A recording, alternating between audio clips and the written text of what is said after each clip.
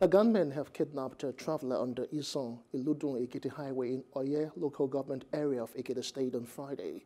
Amotekun Corps Commander in the state, retired Brigadier General Joe Komolafe, confirmed the mishap on Saturday and said another would have been victim would uh, was rescued by the Corps. He said the Ekiti State Security Network Agency, codenamed Amotekun Corps, and the police command in the state jointly engaged the gunmen before one of the travelers was rescued.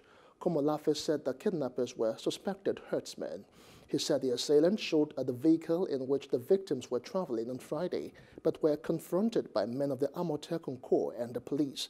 Komolafe called on residents of Ekiti State not to panic as Amotekun men, in collaboration with other security agents, would ensure the safe return of the kidnapped victim and also intensify surveillance on all highways to guarantee safety of travelers. Hello, hope you enjoyed the news. Please do subscribe to our YouTube channel and don't forget to hit the notification button so you get notified about fresh news updates.